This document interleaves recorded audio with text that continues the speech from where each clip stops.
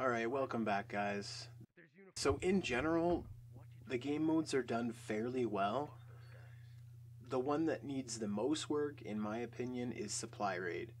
And that's just because you don't get enough points for killing people, which is the main point of the mode. And it's not objective based like interrogation, and you can get way more points there. And also, survivors, you can get so many points if the rounds continue going. So in like in supply raid, I've gotten 15 plus kills in a match, like 18, 19, and I haven't even broken 5,000 parts for the match. Like it, it doesn't make any sense. There's only 24 reinforcements, and I get I get like 15 plus downs in a match, and I don't even break 5,000 parts, which which isn't a lot for growing your clan and stuff like that. Like you have to boost the parts for you have to boost the parts for it. And there's a few ways you can do that. You can add like first blood bonus, getting the first kill in the game. Man, I sound like such a COD noob saying that. I hate Call of Duty though, just just to throw it out there. But you could add in first blood bonus and also when you get to 3 kills, let's say you kill your third person in a row without dying, you could uh, you could start a kill streak bonus that gives you 25% more parts for a kill from that point on, going up to like say 150 or 200% if you're on a, a huge kill streak. Something along those lines, because this mode is based 100% on killing the enemy and taking down their their reinforcements, and you just simply don't get enough parts for it. You could have a KDR bonus as well, to some degree, if someone really does well. As a final note on interrogation, there was just your last main update, not the pro one, but way before that, when you added in the spawning for interrogation, it really broke the game. So essentially, you guys had it so if the one team was base raping the other team, and the game sensed that they were in all quarters of their spawn, it would spawn you across the map on the other side on the other team's base in the other team's base and that's that's really broken the game because i've lost matches because it put me on that side when we could have all ran in and stopped them from getting the safe. People there have been matches where we're winning and they put them over there and then they gang they ganged up on the one guy defending and then they won the game because they rushed over there or something along those lines. It's broken the mode so you need to fix the spawning for interrogation. That that needs to be taken out because it broke the mode in a lot of ways Alright guys, so now let's start off with new modes that can be added into The Last of Us Part 2 multiplayer. So obviously this is a given that you guys have to get in there. It's survival co-op mode with infected. You've got thousands of people requesting this. You guys have tested it in your in your uh, PS3 multiplayer, uh, and the PS3 couldn't handle the overhead calculations. That's understandable. But now you have no excuses. You have to go put this in. One thing I didn't really think of for longest time is how many players you could have in it. I always assume four, but who knows? If you could have more than four, that'd be pretty cool to have like a whole bunch of your friends in with you at once. But do this right, get this in there.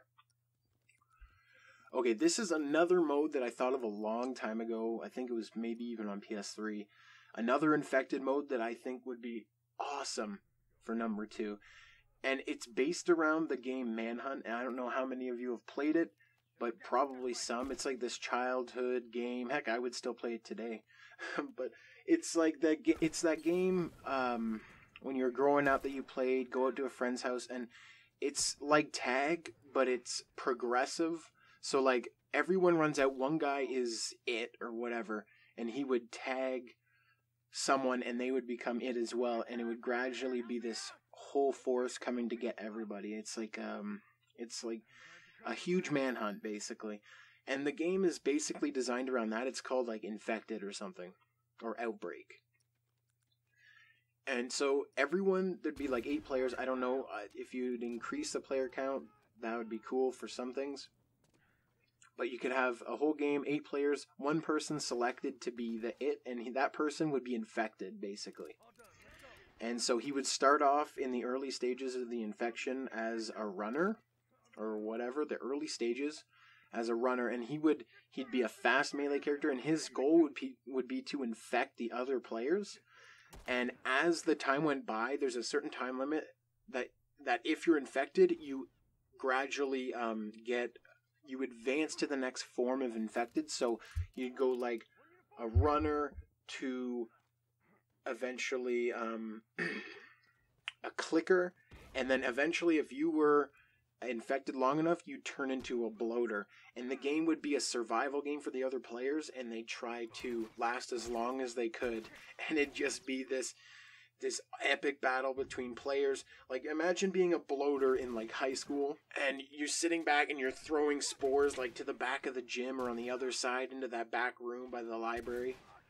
Like throwing spores, trying to infect the other players, um, and like being a clicker. And you get basically have unlimited senses because they can't see, and you could see people walking and trying to get as close as you can to ambush them and bite them and infect them and scratch them and whatever, and trying to spread this virus. And I think that'd be a really fun mode for number two.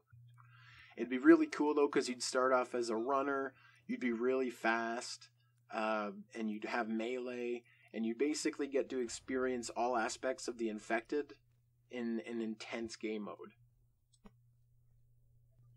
Alright, so there needs to be more objective modes in number two. And the best one I can think of, like interrogation, was is pretty much my favorite mode. I played that straight for years. But in terms of more objective based modes, the best one I can think of, just as a, and it's super popular and it's super fun, capture the flag. This game should have a capture the flag mode, which is essentially capture the supplies.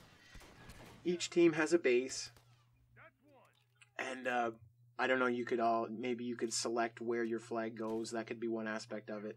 But essentially, they set their flags, which are in its supplies, uh, in safes or something like that. So you, every flag that spawns, you have to unlock it one notch, like an interrogation, in order to open it and get the flag. Just one notch.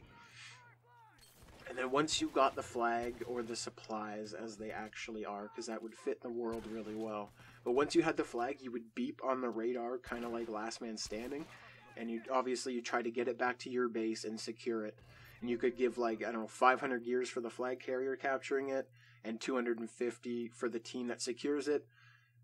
Uh, and you know make it so each game has like a five flag or three flag limit if you had to but I think that would be insanely fun, insanely intense too.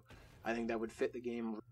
It would be a blast, like tracking the flag carrier uh, and shiving him and stuff like that, giving bonus points for killing the flag carrier. Obviously, that'd be so fun. And then as another objective based mode, you could have zones or capture the hill, something along those lines. You guys have done it in Uncharted. I don't know if multiple zones would work, maybe just one would fit better with this game, but something along that would be cool too. Alright guys, that pretty much does it. If you enjoyed it, if you agreed with what I said, please go send it to Naughty Dog because there's no point in even making this stuff really if Naughty Dog doesn't see it. Uh, I'll have a comment in the in my comment section pinned so that I can put additions and stuff like that. Same as the first one. Uh, links for Naughty Dog are in the description. Thanks a lot, guys. I'll see you in the next one.